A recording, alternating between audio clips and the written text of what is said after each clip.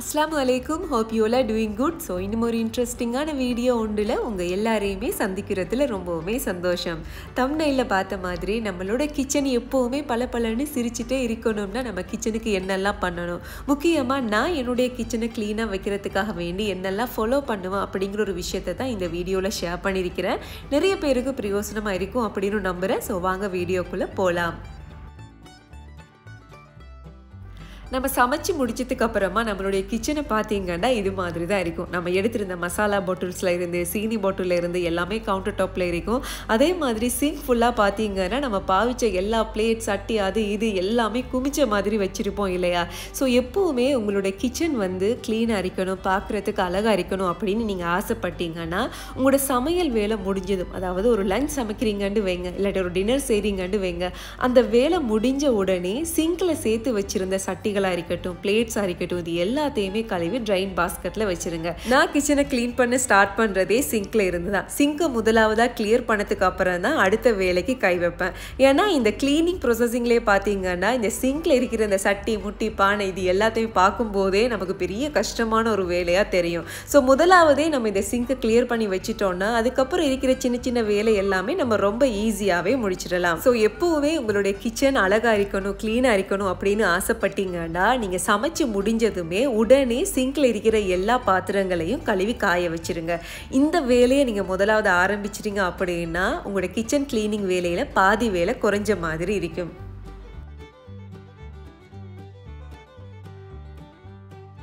அடுத்ததாக சிங்கில் எப்பெல்லாம் பாத்திரம் கழுவுறீங்களோ கழுவி முடிஞ்சதும் கையோட சிங்கையும் நல்லா கழுவி விட்டுடுங்க. ஏன்னா ஒரு கிச்சனை பார்த்ததும் க்ளீனாக இருக்கிற கிச்சன் அப்படின்னு மனசுக்கு முதலாவது தோன்றது க்ளீனாக இருக்கிற சிங்க்கும் அதே மாதிரி ஸ்டவ்வும் தான். பொதுவாக நம்ம சிங்கில் அதிகமான பாத்திரங்கள் கழுவும் போது இது மாதிரி நுரைகள் அரிக்கட்டும் நம்ம சமைச்ச கருவேப்பிலை வெங்காயம் இதெல்லாம் அங்கங்கே இருக்கும் இல்லையா? அது பார்க்குறதுக்கு அருவறுப்பாகவும் இருக்கும். ஸோ சிங்க் கழுவுறதுக்காக ஒரு தனி ப்ரஷ் அப்படி இல்லாட்டி வீடியோவில் பார்க்குற மாதிரி ஸ்டீல் ஸ்க்ரப்பர் வச்சுக்கொள்ளுங்க. பாத்திரம் கழுவுற லிக்விட் போட்டு லேசாக இது மாதிரி ப்ரஷ்ஷால் தேய்ச்சி விட்டு தண்ணியால் அலசி விட்டிங்கனாலே போதும். இந்த சிங்க் வேலை முடிஞ்சிடும் பொதுவாக இன்ஸ்டாகிராம் ஃபேஸ்புக்லாம் பார்த்தீங்கன்னா இந்த லேடிஸுக்கு ஹாப்பி எண்டிங் வந்து சிங்கை எல்லாமே கழுவி முடிக்கிறது தான் அப்படின்னு போட்டிருப்பாங்க. அது உண்மையாகவே அப்படி தான் மோஸ்ட்லி கிச்சனில் அதிகமாக டைம் ஸ்பெண்ட் பண்ணுற லேடிஸ் எல்லாருக்குமே சிங்கை கழுவி முடிச்சதும் அப்பாடா வேலை முடிஞ்சு அப்படிங்கிற ஒரு பெரும் மன திருப்தி வரும். அது எல்லாருமே நீங்கள் ஃபீல் பண்ணியிருப்பீங்க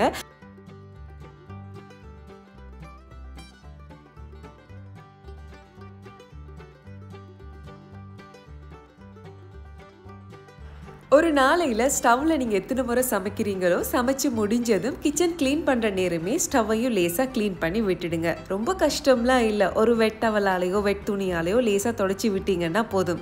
அடுத்த நேரம் நீங்கள் சமைக்க வரும்போது ஸ்டவ் பார்க்குறதுக்கு க்ளீனாகவும் இருக்கும் அழகாகவும் இருக்கும் முக்கியமாக உங்களுக்கு சமைக்கிறதுக்கு ஆசையாகவும் இருக்கும். ஸ்டவ்வை க்ளீன் பண்ணும்போது அதை சுற்றின ஏரியா இருக்கும் இல்லையா?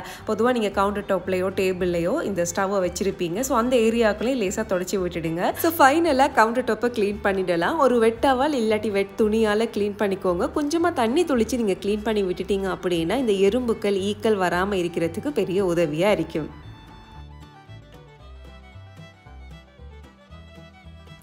நம்ம கிச்சன் க்ளீன் பண்ணி முடிஞ்சதும் இது மாதிரி ட்ரெயின் பாஸ்கெட்லேயோ அப்படி இல்லாட்டி டிஷ் ரெக்லேயோ இது மாதிரி கழுவின பாத்திரங்கள் எல்லாத்தையுமே காய வச்சுருப்போம்.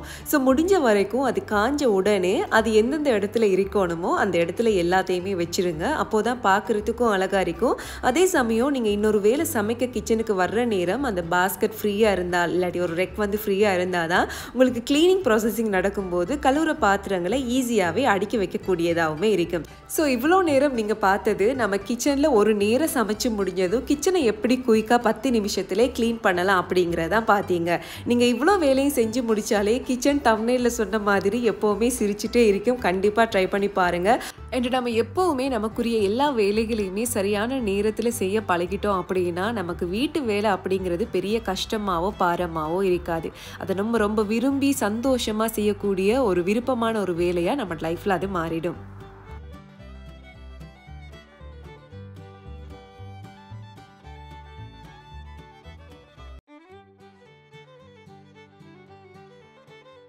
அடுத்ததாக கிச்சனை எப்படி டீப் க்ளீனிங் பண்ணலாம் அப்படிங்கிறத பார்த்துடலாம் ஒரு நாளைக்கே எல்லா வேலையும் இழுத்து போட்டு செய்யாமல் வாரத்தில் ஏதாவது ஒரு நாளில் உங்களோட ஸ்டவ்வையோ அப்படி இல்லாட்டி ஃப்ரிட்ஜையோ கிச்சன் கேபினட்டையோ கழுவுறதுக்காக ஒதுக்கி வச்சு கொள்ளுங்க.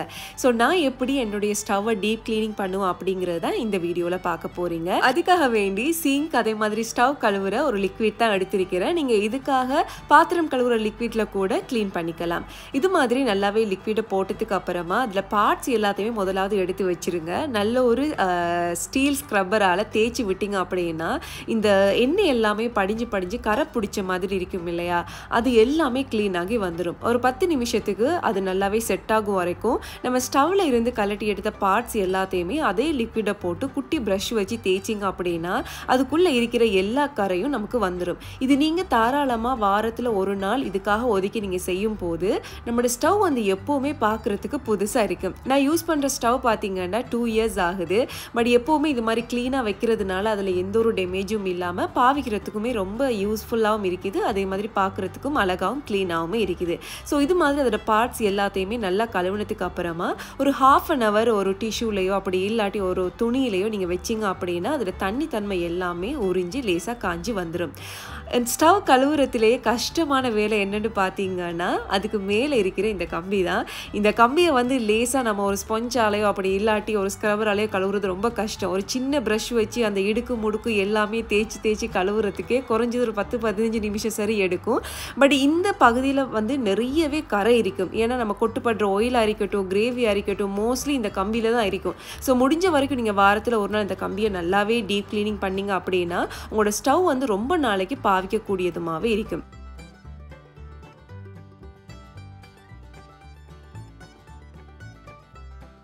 ஃபைனலாக ஸ்டவ்வை நல்ல ஒரு வெட்டவலால் க்ளீன் பண்ணி விட்டதுக்கு அப்புறமா காய வச்சுருந்த பார்ட்ஸ் எல்லாத்தையுமே ஃபிக்ஸ் பண்ணி கொள்ளுங்கள் ஸ்டவ் கழுவுறது பார்க்குறதுக்கு வேணும்னா கஷ்டமான ஒரு வேலையாக இருக்கலாம். வாரத்தில் ஏதாவது ஒரு நாள் திங்கக்கிழமையோ செவ்வாய்க்கிழமையோ உங்களுக்கு எந்த நாள் ஃப்ரீயாக இருக்குமோ அந்த நாளைக்கு இந்த ஸ்டவ் கழுவுற வேலையை நீங்கள் ஒதுக்கி வச்சுக்கொள்ளுங்க. ஒரு இருபது நிமிஷத்துலேயே பார்த்தீங்கன்னா இந்த ஸ்டவ் க்ளீனிங் வேலை எல்லாமே ஈஸியாகவே முடிஞ்சிடும்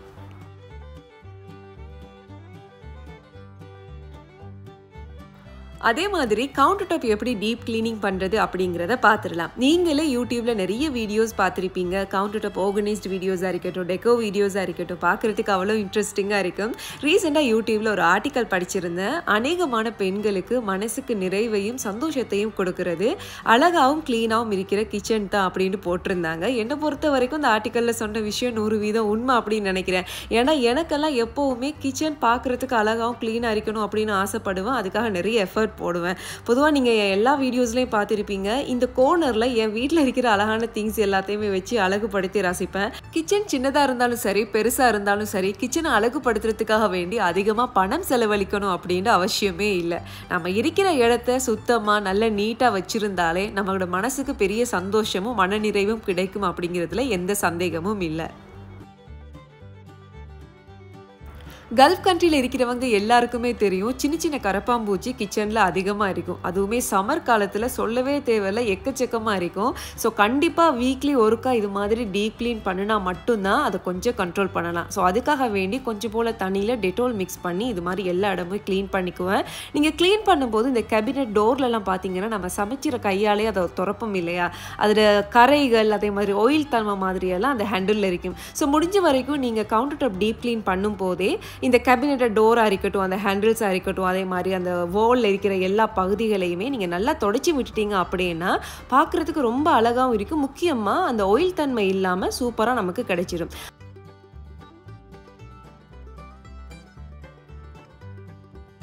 நம்ம சமைக்கும் போது அதிகமாக ஆயில் யூஸ் பண்ணுறதுனால இந்த கவுண்டர் டாப்பில் வச்சிருக்கிற திங்ஸ் எல்லாத்துலேயும் பார்த்தீங்கன்னா லேசாக எண்ணெய் படிஞ்ச மாதிரி இருக்கும். அதுலேயும் தூசும் மிக்ஸ் பண்ணி அங்கங்கே தூசி எல்லாமே ஒட்டிட்டு இருக்கும். ஸோ நீங்கள் டீப் க்ளீனிங் பண்ணும்போது இந்த திங்ஸ் எல்லாத்தையுமே அப்படியே வச்சிடாமல் முடிஞ்ச வரைக்கும் ஒரு வெட்டவல் வச்சு க்ளீன் பண்ணி விட்டீங்க அப்படின்னா அதுவும் க்ளீன் ஆகின மாதிரி இருக்கும். பார்க்குறதுக்கு பல பலன்னு புதுசாகவுமே இருக்கும். ஸோ இந்த டிப்ஸ் எல்லாத்தையுமே நீங்கள் ஃபாலோ பண்ணி செஞ்சு பாருங்கள் உங்களோட கிச்சனுமே இதுக்கப்புறம் எப்போவுமே சிரிச்சிட்டே இருக்கும். ஸோ எடுத்திருந்த திங்ஸ் எல்லாத்தையுமே அந்தந்த இடத்துல வச்சுக்கிறேன். நீங்கள் இந்த மாதிரி திங்ஸ் வச்சு தான் உங்களோட கிச்சனை அழகுபடுத்தணும் அப்படின்னு அவசியம் இல்லை. இப்போ நிறையவே இண்டோ பிளான்ஸ் எல்லாம் இருக்குது. பார்க்குற இடங்கள் எல்லாத்துலேயுமே நீங்கள் பிளான்ஸ் வச்சு பாருங்கள் அதுவே ரொம்ப அழகாக இருக்கும். கண்ணுக்கு பச்சை பசேலுன்னு குளிர்ச்சியாகவும் இருக்கும்.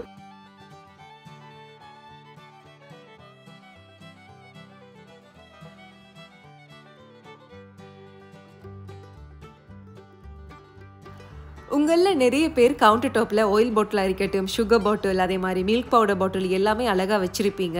ஸோ நீங்கள் கவுண்டர் டாப்பை டீப் க்ளீனிங் பண்ணும்போதே அதை நல்லா வாஷ் பண்ணி ரீஃபில் பண்ணி வச்சுட்டீங்க அப்படின்னா எக்ஸ்ட்ராவாக உங்களுக்கு அது ஒரு வேலையாக இருக்காது. ஸோ வீக்லி நீங்கள் இந்த ப்ரொசஸிங்கில் நீங்கள் செய்யும்போது ஒவ்வொரு வீக்குமே அதுவும் வாஷ் பண்ணி ரீஃபில் பண்ண மாதிரி இருக்கும். உங்களுக்கும் ஈஸியாக வேலை முடிஞ்ச மாதிரியுமே இருக்கும். நிறைய பேர் மணி பிளான்ட் வளர்கிறதுக்கு டிப்ஸ் கேட்டிருந்தீங்க. நானும் ஸ்பெஷலாக எதுவுமே ஒன்றும் பண்ணது இல்லை இது மாதிரி க்ளீன் பண்ணும்போது தண்ணியை ரீஃபில் பண்ணிக்குவேன். அண்ட் அதில் கிளாஸில் பார்த்தீங்கன்னா லேசாக பாசி பிடிச்ச மாதிரி இருக்கும். ஸோ கிளாஸையும் நல்லா கழுவுனதுக்கு அப்புறமா தண்ணி ரீஃபில் பண்ணி இது மாதிரி மணி பிளான்ட்டை போட்டு வச்சுக்குவேன். அடிக்கடி தண்ணியால் ஸ்ப்ரே பண்ணிக்குவேன். நான் இவ்வளோ தான் ஃபாலோ பண்ணுறது பட் நீங்கள் யூடியூப்பில் சர்ச் பண்ணி பார்த்தீங்கன்னா நிறைய டிப்ஸ் இருக்கும் அப்படின்னு நம்புகிறேன் ஸோ இது மாதிரி சிங்க்குக்கு பக்கத்தில் ஏதாவது வூடன் ட்ரேயோ அப்படி இல்லாட்டி வூடன் கப் ஹோல்டரோ நீங்கள் வைக்கிறீங்க அப்படின்னா கண்டிப்பாக தண்ணி படாத மாதிரி பார்த்துக்கொள்ளுங்க ஏன்னா நம்ம காசு கொடுத்து வாங்குற ஐட்டம்ஸ் எல்லாத்தையும் சரியான முறையில் பராமரிக்கணும் இல்லையா? ஸோ நான் வந்து ஒரு பழைய பிளாஸ்டிக் ஒரு மூடிக்கு மேலே தான் இது மாதிரி கப் ஹோல்டரை வச்சு எல்லாத்தையுமே செட் பண்ணிக்குவேன். ஸோ கிட்டத்தட்ட இந்த கப் ஹோல்டர் ஒரு ஆறு மாதத்துக்கு மேலே நினைக்கிறேன். பட் இன்றைக்கு வரைக்குமே பார்க்குறதுக்கு புதுசு மாதிரி தான் இருக்குது. ஸோ இந்த டிப்ஸ் எல்லாமே உங்களுக்கு பிரயோசனமாக இருக்கும் அப்படின்னு நம்புகிறேன்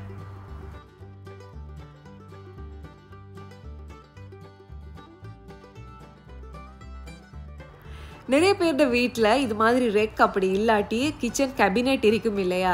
அதை நம்ம எப்பயாச்சும் ஒருக்கா தான் க்ளீன் பண்ணுவோம். பட் நீங்கள் நல்லா நோட் பண்ணி பார்த்தீங்கன்னா இந்த ரெக்கில் அதிகமாக தூசு படிஞ்சிருக்கும். ஸோ நீங்கள் வீக்லி ஒருக்கா இது மாதிரி லேசாக ஒரு வெட்டவல் வச்சு தொடச்சிட்டு அதை அழகாக நீங்கள் செட் பண்ணி வச்சிட்டிங்க அப்படின்னா அந்த ரெக் வந்து உண்மையாகவே பார்க்குறதுக்கு அழகாகவும் இருக்கும் நீட்டாகவும் இருக்கும். முக்கியமாக நம்மளோட ஊர்களெல்லாம் பார்த்தீங்கன்னா நம்ம ஹோலை எந்த அளவுக்கு பெருசாக கட்டுவோமோ அதே அளவுக்கு தான் கிச்சனையும் பெருசாக கட்டுவோம். ஒரு நாலஞ்சு பேர் சேர்ந்து தாராளமாக சமைக்கலாம். பட் எப்பார்ட்மெண்ட்லலாம் அந்தளவுக்கு பெருசாக நமக்கு கிச்சன் கிடைக்காது. சின்ன கிச்சன் தான். ஸோ இருக்கிற ஐட்டம்ஸ் எல்லாத்தையுமே எங்கடா எப்படிடா வைக்கலாம்னு யோசிக்கிறதுக்கே டைம் சரியாக இருக்கும். இந்த ரெக் வாங்கினதுக்கு அப்புறமா என் கிச்சனில் நிறைய ஸ்பேஸ் இருக்கிற மாதிரி ஃபீல் பண்ணியிருக்கேன்.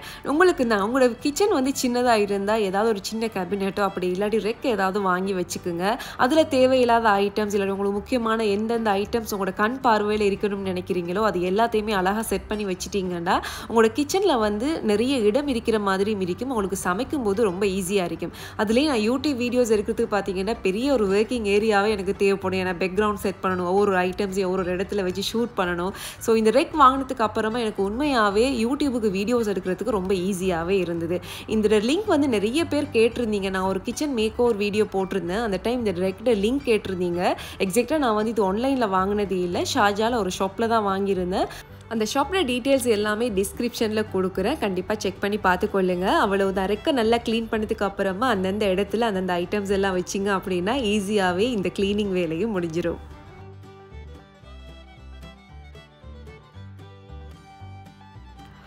அடுத்ததாக நம்ம டெய்லி ட்ரெயின் பாஸ்கெட் யூஸ் பண்ணுறதுனால அதில் தண்ணி தேங்கி லேசாக ஸ்மெல் வர ஆரம்பிக்கும். அதே மாதிரி கண்டிப்பாக லேசாக பாசி பிடிச்சிருக்கும். ஸோ நீங்கள் வீக்லி டீப் க்ளீன் பண்ணும்போது இதையுமே ஒருக்கா ப்ரஷ் வச்சு நல்லாவே க்ளீன் பண்ணி விட்டீங்க அப்படின்னா ஒவ்வொரு வீக்கும் நீங்கள் இது மாதிரி க்ளீன் பண்ணுற நேரம் அந்த பாசி பிடிக்கிற தன்மையாக இருக்கட்டும் ஸ்மெல் வர தன்மையாக இருக்கட்டும் நல்லாவே குறைவாக இருக்கும். இந்த டிப்ஸ் வந்து உங்களுக்கு ரொம்ப முக்கியம். நீங்கள் ட்ரெயின் பாஸ்கெட் யூஸ் பண்ணாலும் சரி அப்படி இல்லாட்டி பிளேட் ட்ரெக் யூஸ் பண்ணாலும் சரி அதை ஒவ்வொரு கிழமையில ஏதாவது ஒரு நாள் கண்டிப்பாக நீங்கள் வாஷ் பண்ணி வைங்க. அப்போ தான் ஸ்மெல் வராமல் பார்க்குறதுக்கு ரொம்ப நல்ல நீட்டாக இருக்கும். ஃபைனலாக சிங்கை எப்படி டீப் க்ளீன் பண்ணலாம் அப்படிங்கிறத பார்த்துடலாம். இந்த க்ளீனிங் மெத்தடில் உங்களோட வீட்டில் இருக்கிற சிங்கை நீங்கள் க்ளீன் பண்ணி பாருங்கள் நீங்கள் புதுசாக கடையில் சிங்க் வாங்கி ஃபிட் பண்ண மாதிரி ஃபீல் பண்ணுவீங்க. அந்தளவுக்கு பல பலன்னு வந்துடும் ஸோ நான் சிங்க் கழுவுற லிக்விட் தான் யூஸ் பண்ணியிருக்கிறேன் நல்லா இது மாதிரி போட்டதுக்கு அப்புறமா ஒரு ஸ்க்ரப்பர் வச்சோ அப்படி இல்லாட்டி ப்ரஷ் வச்சோ நல்லா தேய்ச்சி வாஷ் பண்ணிக்கொள்ளுங்க முக்கியமாக இந்த டெப்பில் இருக்கிற ஹேண்டிலாக இருக்கட்டும் அந்த டெப் ஓரங்கள் எல்லாமே நல்லா கழுவிக்கொள்ளுங்க அப்போ தான் அதில் இருக்கிற கரையாக இருக்கட்டும் மூத்தை எல்லாமே க்ளீனாகி வந்துடும் லேசாக தண்ணி போட்டு அலசி விட்டுடுங்க. முடிஞ்ச வரைக்கும் இந்த சோப் தன்மை எதுவுமே இல்லாத மாதிரி நல்லா கழுவி கொள்ளுங்கள் அதுக்கப்புறமா நல்லா கொதிக்கிற சுடு தண்ணியை அந்த சிங்கில் இருக்கிற ஹோலில் ஊற்றுனீங்க அப்படின்னா அடைப்பூக்கள் இல்லாட்டி ஸ்மெல் ஏதாவது இருந்தால் அது அப்படியே போயிடும் ஃபைனலாக இது மாதிரி ப்ளீச்சிங் பவுடர் அப்படி இல்லாட்டி ப்ளீச்சிங் லிக்விட் இருந்தால் சிங்க் ஃபுல்லாகவே போட்டுக்கொள்ளுங்க. கையில் படாத மாதிரி கவனமாக யூஸ் பண்ணிக்கொள்ளுங்க. அதுக்கப்புறமா டிஷ்யூ அப்படி இல்லாட்டி துணி இருந்தால் இந்த சிங்க் பேசனுக்குள்ளே வீடியோவில் காட்டுற மாதிரி செட் பண்ணி வச்சுக்கோங்க. அண்ட் ரெண்டு பகுதியும் நான் வந்து டிஷ்யூவை வச்சதுக்கு அப்புறமா சின்ன ஒரு டிஷ்யூவை வந்து நல்லாவே ரோல் பண்ணி அந்த சிங்கில் இருக்கிற அதாவது பேசனில் இருக்கிற ஹோலில் வந்து லேசாக அடைச்ச மாதிரி இது மாதிரி வச்சுக்கலாம். அண்ட் அதுக்கப்புறமா அந்த டிஷ்யூக்கு மேலேயும் இந்த ப்ளீச்சிங் லிக்விட் எல்லாத்தையுமே நல்லா ஊற்றிக்கொள்ளுங்க முக்கியமாக அந்த ஹோலில் வச்சிருக்கிற டிஷ்யூக்கு மேலேயும் கொஞ்சம் எக்ஸ்ட்ராவாக லிக்விட் போட்டுக்கொள்ளுங்க. இந்த மெத்தடை வந்து நீங்கள் ஓவர் நைட் செஞ்சீங்க அப்படின்னா தான் இது சக்ஸஸ்ஃபுல்லாக உங்களுக்கு நல்லாவே ஷைனிங்காக கிடைக்கும். ஸோ நான் ஓவர் நைட் வச்சதுக்கு அப்புறமா அடுத்த நாள் மார்னிங் பார்த்தீங்கன்னா அந்த டிஷ்யூ நல்லாவே ட்ரை ஆகிருக்கும் அந்த டிஷ்யூவை நீங்கள் வெறும் கையால் எடுக்காமல் ஒரு பேக் போட்டு எடுத்துக்கொள்ளுங்க. அதுக்கப்புறமா லேசாக தண்ணியால் இது மாதிரி கழுவி விட்டாலே போதும். புதுசாக நீங்கள் கடையில் வாங்கிட்டு வந்த சிங்க் மாதிரியே உங்கள் சிங்க் வந்து இருக்கும். உங்களுக்கு இந்த வீடியோவில் பார்க்கும்போதே எக்ஸாக்டாக விளங்கும் அப்படின்னு நினைக்கிறேன்.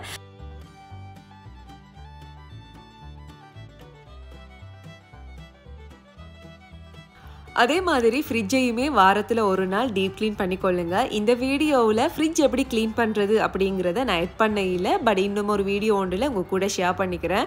மோஸ்ட்லி வீக்கெண்டில் தான் நான் வந்து ஃப்ரிட்ஜை டீப் க்ளீன் பண்ணுவேன். ஏன்னா நம்ம க்ரோசரிஸ் வாங்குறதுக்கு ஒரு நாளைக்கு முதலே ஃப்ரிட்ஜை க்ளீன் பண்ணி வச்சுட்டோம் அப்படின்னா ஃப்ரெஷ்ஷாக வாங்குற ஐட்டம்ஸ் எல்லாத்தையுமே ஈஸியாக நமக்கு செட் பண்ணி வச்சிடலாம். இதெல்லாம் நீங்கள் எப்படி பார்த்து பார்த்து க்ளீன் பண்ணுறீங்களோ அதே மாதிரி உங்களோட கிச்சனையும் அடிக்கடி மொப் பண்ணிக்கொள்ளுங்க. வாரத்தில் ஒருக்கா அப்படின்னு இல்லை ரெண்டு நாளைக்கு ஒருக்காவோ மூணு நாளைக்கு ஒருக்காவோ இது மாதிரி மொப் பண்ணி விட்டுட்டீங்கன்னா கிச்சன் எப்போவுமே அழகாகவும் க்ளீனாகவும் இருக்கும்.